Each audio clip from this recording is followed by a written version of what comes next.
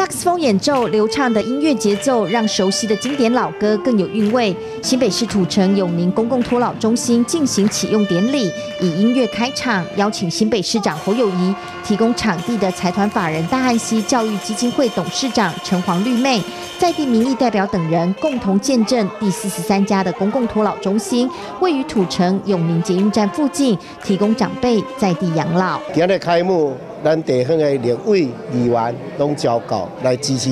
这个公共托老中心的开幕。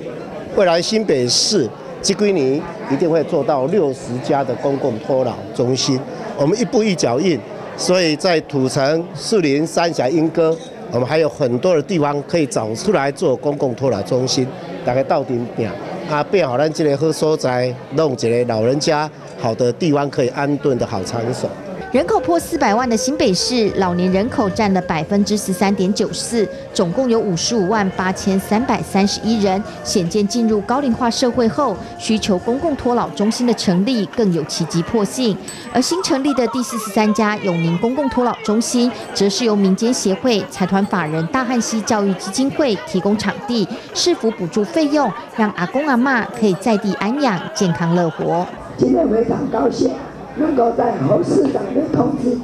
推动之下，能够有这个第十四座的托老中心，这是我们新北的幸福。在这里，我要感谢我们市长对我们新北的照顾，更加为我们新北、我们三阳地区，这才是造福人群，也是我们侯市长一大功德。非常感谢南财团法人大安溪教育基金会。城隍立妹董事长的带领，写了一个最棒的一个捷运站旁边，然后整个托老中心里面有健康的银发俱乐部，也有可以照顾失智失能的三十个长辈们，